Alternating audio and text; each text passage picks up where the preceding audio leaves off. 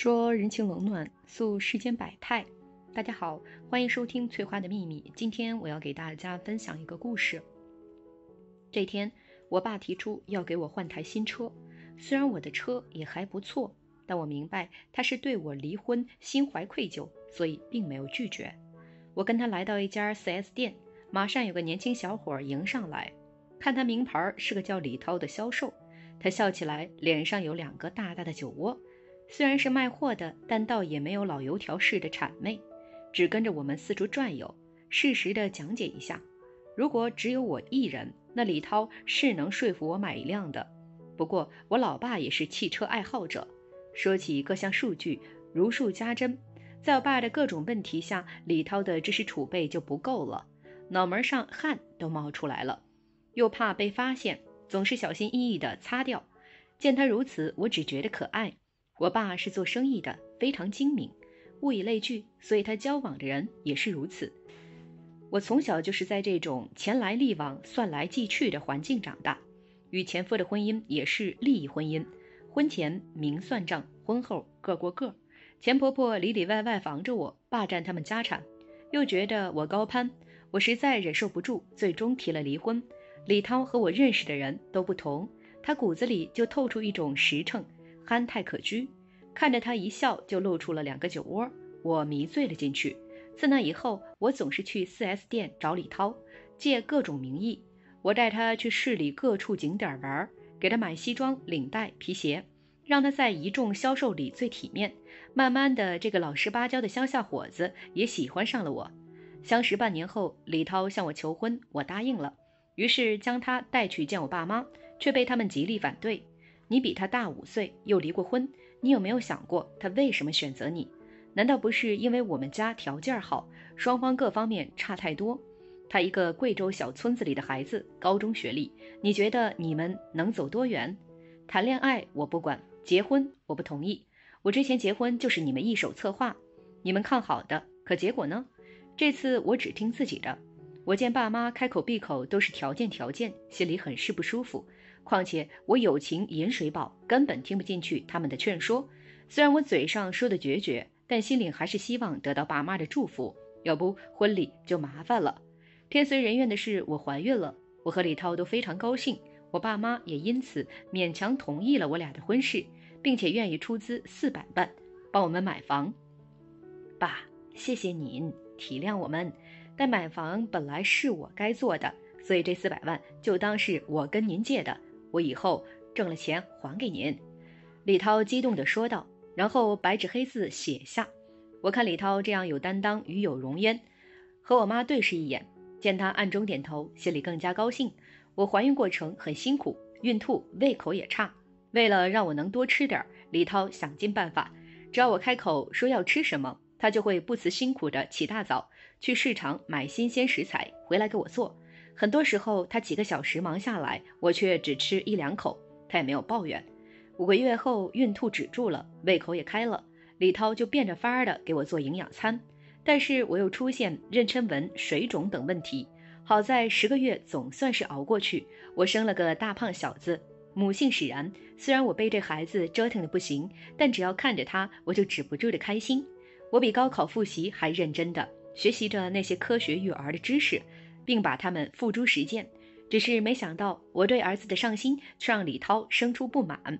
比如，我每天都要求给儿子奶瓶、磨牙器等入口或者可能会入口的东西消毒，每天要用清水给孩子擦洗一遍，时刻关注体温、关注排便，记录各种数据。只要触碰孩子，一定要洗手等等，都让李涛觉得头大。他说：“他们村里的孩子都是羊群一样放养，照样健康长大。也不知道是我的规矩太多，还是李涛太劳累，没几天他就感冒了。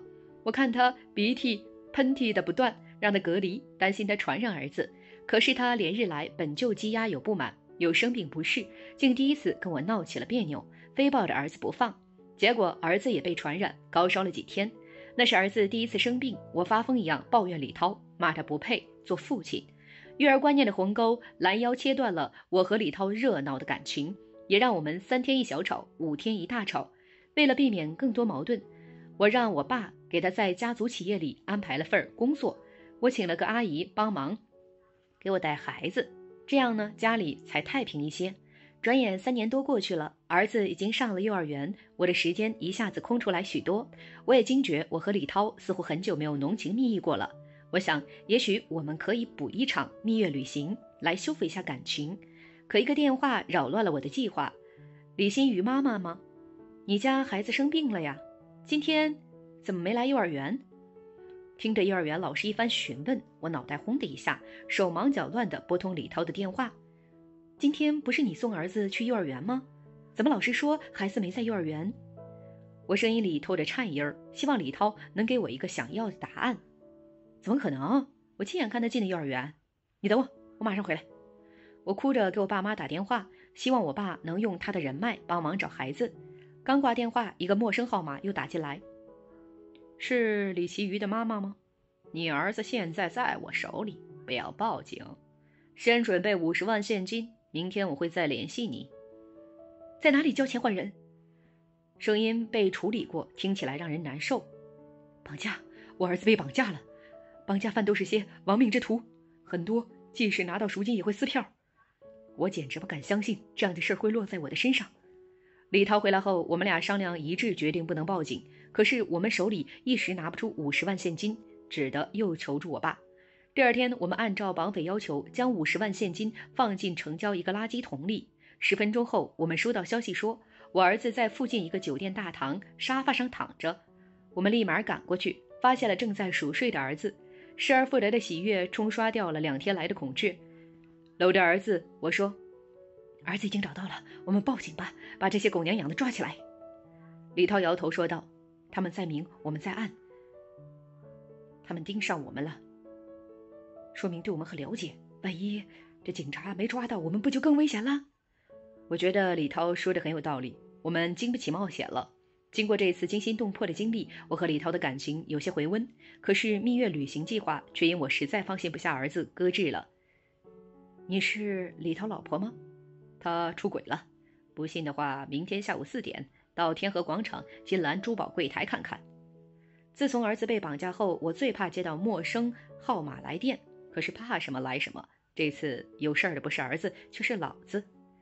第二天，我按照电话里说的，下午四点出现在金兰珠宝。只见李涛和一个浓妆艳抹的女人，肩挨着肩，头挨着头，有说有笑的挑选首饰。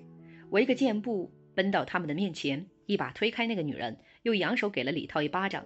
李涛挨了我一巴掌，恼羞成怒，竟然使了十足的力，将我推倒在地。我一下摔懵了。屁股和右腿被冰冷的地面撞得生疼，可这抵不过我心疼的半分。等我挣扎着从地上起来，李涛已经和狐狸精走了，只剩下我一个人。面对周围人的指指点点，回到家里冷锅冷灶。李涛没有回家，我等了他一夜。如果他愿意悔改，能给我一个解释，也许为了儿子，我会继续这段婚姻。可是他没有，连一个消息也没给我。我也反思，是不是自从儿子出生，我太忽略李涛了？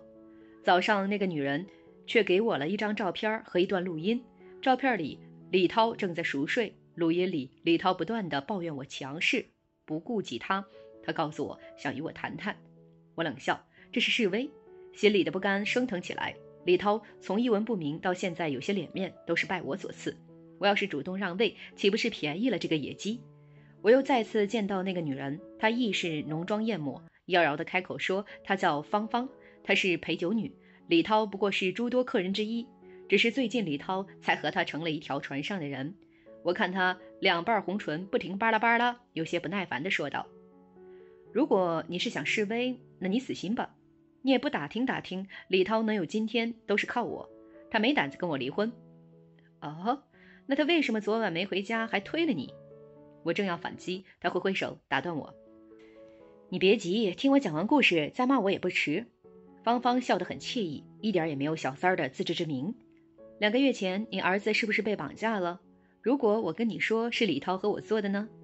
怎么可能？那是他儿子，他绑架做什么？为了钱呗。李涛前面在会所里赌博输了不少，不敢找你要，所以借了高利贷。眼瞅着还不上，又怕露馅儿，就找我帮他。绑架这事儿是他想的，我不过是帮他把你们儿子藏起来。你告诉我这些干什么？你既然知道他这样，难道还想嫁给他？这你就要去问问你父亲大人了。他芳芳说完这句就不再多言。我心里乱糟糟的，如今只能去找我爸问个究竟。原来我儿子被绑架那天，我爸第一时间去幼儿园查看了监控，发现儿子当时并没有从李涛车里下来，他起了疑心，所以就派人跟踪了李涛。随后不仅发现了李涛的阴谋，更发现了他的奸情。我爸想第一时间告诉我，但想起当初我第一段婚姻就是他们干涉太多而不能善终，又担心即使告诉我，我也会心软就原谅了李涛。于是他另辟蹊径，找到了芳芳，许以重金，让他想办法让李涛跟我提离婚。谁知芳芳努力了两个月，李涛始终没有松口，所以芳芳只能期许我知晓这一切，愿意离婚，好让他能得到报酬。回家的路上，我拨通幺幺零，把李涛和芳芳绑架儿子的事儿告诉了警方。做错事总是要付出代价的。李涛被关进看守所后，我起诉离婚。我爸主张房子归我，但李涛居然说。购房款是我爸赠送的，且户主是他，房子归他。你真够不要脸的，出轨又犯罪，还想要房子，怎么不去抢？我气得半死，忍不住骂道：“这么多年，我低声下气的伺候你，你们一家何时瞧上过我？我本来就比你年轻，不该给我点精神补偿、青春损失费？”也许是撕破脸了，李涛说起话来也无所顾忌。别忘了，你赌债怎么还上的？五十万够够的。说完，我再不看李涛一眼。万幸我爸的精明，他拿出一切准备好的东西。当年李涛亲笔写的借条，将房子争取了回来。拿到判决书的那天，我妈握着我的手，告诉我，我还有父母，还有儿子。我知道他是担心我想不开。我想，我不该一直活在父母羽翼里，是时候自食其力，做个让儿子可以依靠的妈妈，也做一个让父母省心的孩子。好了，今天的故事呢就到这里。如果您有喜欢的故事，记得在视频下方留言，我们会尽力满足您的需求。期待下次与您的分享。最后想跟大家说，现在翠花已经正式开通了 Facebook，点击说明里的链接关注就可以私信给我了。翠花非常期待与大家的互动，在这里你永远也不会孤单。